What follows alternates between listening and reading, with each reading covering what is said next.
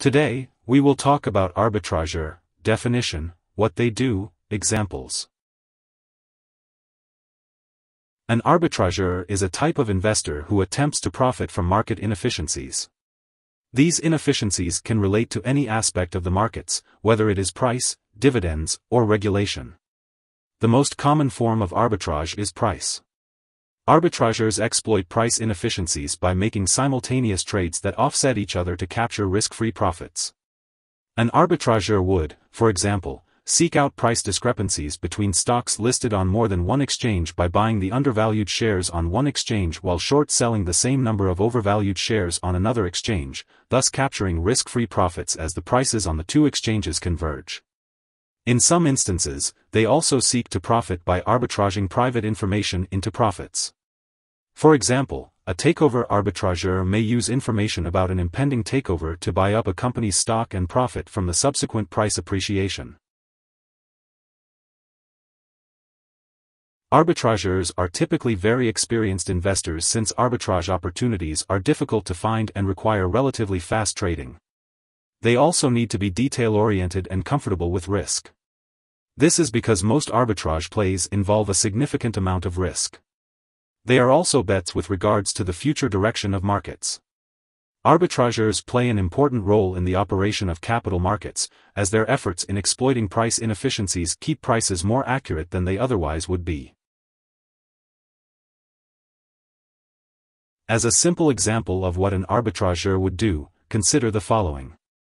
The stock of company X is trading at $20 on the New York Stock Exchange while, at the same moment, it is trading for the equivalent of $20.05 on the London Stock Exchange, LSE.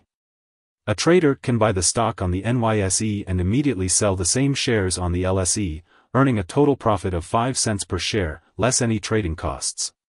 An example of an information arbitrageur was Ivan F. Boesky. He was considered a master arbitrageur of takeovers during the 1980s. For example, he minted profits by buying stocks of Gulf Oil and Getty Oil before their purchases by California Standard and Texaco respectively during that period. He is reported to have made between $50 million to $100 million in each transaction. The rise of cryptocurrencies offered another opportunity for arbitrageurs.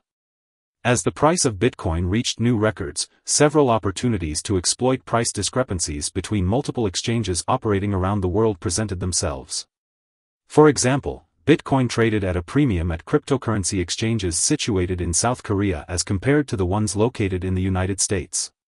The difference in prices, also known as the kimchi premium, was mainly because of the high demand for crypto in these regions. Crypto traders profited by arbitraging the price difference between the two locations in real time. Here are four key takeaways. 1. Arbitrageurs are investors who exploit market inefficiencies of any kind. They are necessary to ensure that inefficiencies between markets are ironed out or remain at a minimum. 2. Arbitrageurs tend to be experienced investors, and need to be detail-oriented and comfortable with risk. 3. Arbitrageurs most commonly benefit from price discrepancies between stocks or other assets listed on multiple exchanges. 4. In such a scenario, the arbitrageur might buy the issue on one exchange and short sell it on the second exchange, where the price is higher. Hope this would help, thanks for watching.